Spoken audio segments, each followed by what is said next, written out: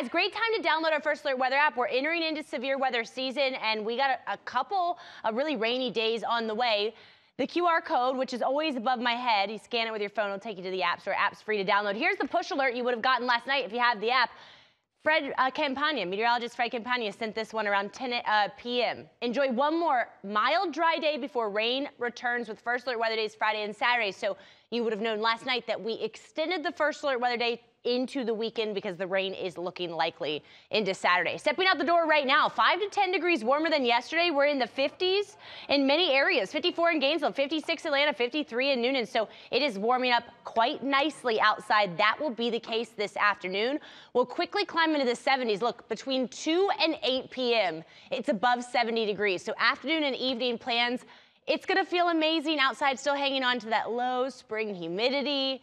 We're looking at high temperatures about 10 degrees above average, anywhere from 73 to 77 degrees. That's slightly warmer than uh, yesterday. Stays mild overnight tonight, stays dry. Tomorrow you'll make it to work without any rain, but around noon or 1, the first wave of rain arrives. The first alert goes into effect at around 2 p.m.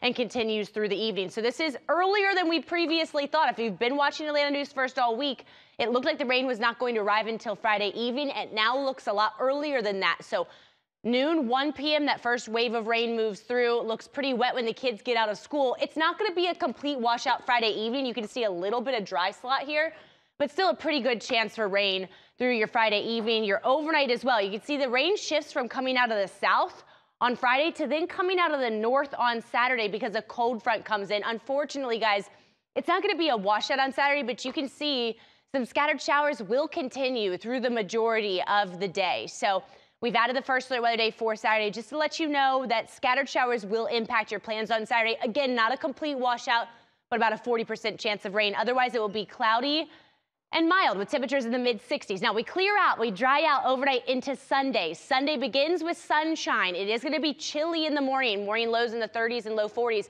But Sunday afternoon is going to be fabulous, guys. Mostly sunny, upper 60s. So if you want to get some yard work done, maybe have a yard sale for spring cleaning, Sunday is the day to do it. So today, Sunday, look like the nicest days over the next week. Tomorrow, again, that's a chilly rain, no severe weather. Showers linger into Saturday. Really nice on Sunday. Then we get a dry, cool day Monday. Our next rain system arrives Tuesday, Wednesday of next week.